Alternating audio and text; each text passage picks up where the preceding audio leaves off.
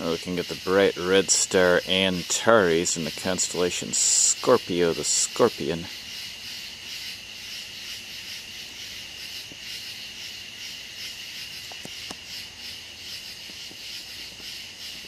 That star is truly gigantic. If it were placed where our sun is, it would extend at least to the orbit of uh, Mars, if not more.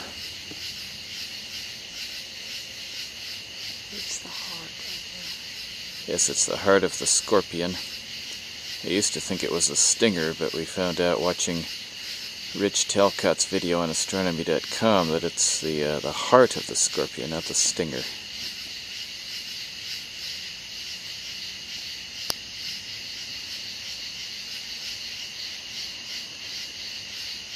Yeah, it's several hundred light years from Earth. It's a it's a red supergiant. Should be able to see its distinctly reddish orange color.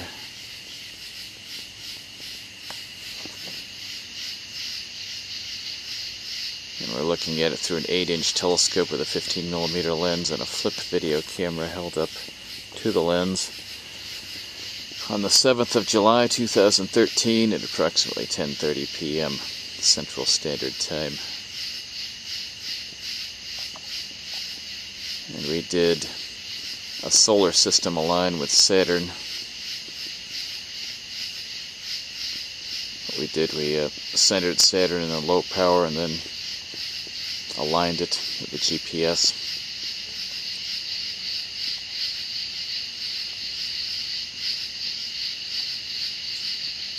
And the, uh, the tracking mechanism's been working very well.